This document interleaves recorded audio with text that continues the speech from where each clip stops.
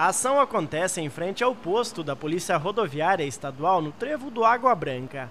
Agentes da Secretaria Municipal de Saúde, policiais rodoviários, bombeiros e soldados do Exército abordam motoristas e entregam panfletos para conscientizar quanto aos cuidados para evitar a proliferação do mosquito transmissor da dengue. Nós, Polícia Rodoviária, Estado, Prefeitura, estamos fazendo a campanha uhum. né, de combate à dengue também.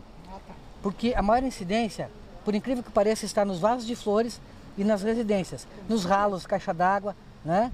e não propriamente em terrenos baldios. Então, o nosso trabalho está sendo intensificado para que essa epidemia ela diminua e que a gente vença essa batalha.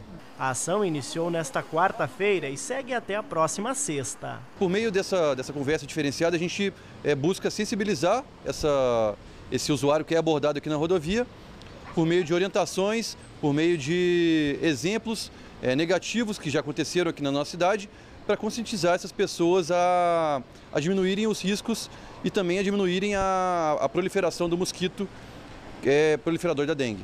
Dados do último levantamento rápido do índice de infestação por Aedes, feito em janeiro, apontam que Francisco Beltrão está com 5,7% de infestação.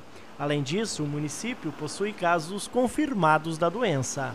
O último boletim epidemiológico, que foi final de fevereiro, foram 55 notificações, é, três notificações confirmadas, 22 descartadas e 33 aguardando resultado.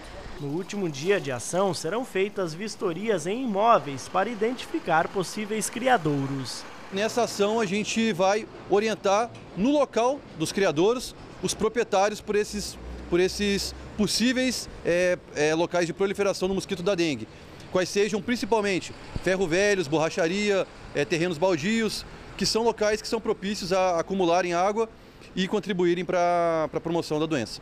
Alguns motoristas abordados aprovaram a ação de conscientização. É bom para conscientizar o pessoal, né?